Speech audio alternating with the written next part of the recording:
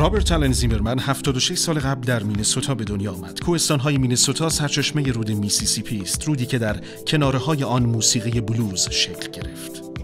دیلن در زمانی زندگی می کرد که در مدارس آمریکا مانورهای مقابله با امکان بمب هسته‌ای تمرین می شد. هرچند خانه دارای یک خط تلفن بود و دیلن یاد گرفت طوری حرف بزند که فقط مخاطبش بفهمد. دوران سناتور مکارتی و سانسور غریبش دروغ را یاد می‌داد. دیلن یاد گرفت خوب دروغ بگوید. او فقط در آهنگهایش دروغ نگفت. دیلن اولین سلبریتی به معنای مدرن کلمه بود. هم جراید در تعقیبش بودند و هم طرفدارانش زباله دم منزلش را میدزدیدند تا ببینند او چه می‌خورد که می‌تواند اینجور بنویسد.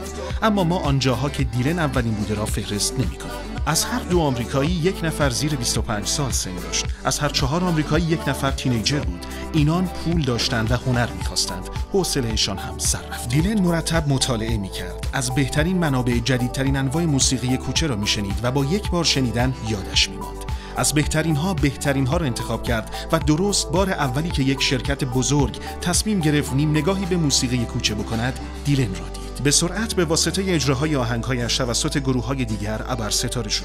جیمز دین مرد و دیگر وقت بر سر گذاشتن تاج جذابترین مرد بود. دیلن وانمود کرد تصادف کرده. به قول خودش به گوشه رفت.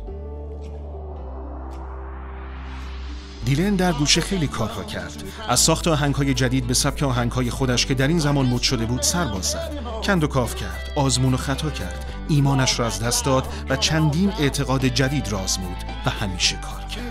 بحرانهای زندگی شخصی دیلن با بحرانهای بین المللی و ملی و غیر ملی همراه بود.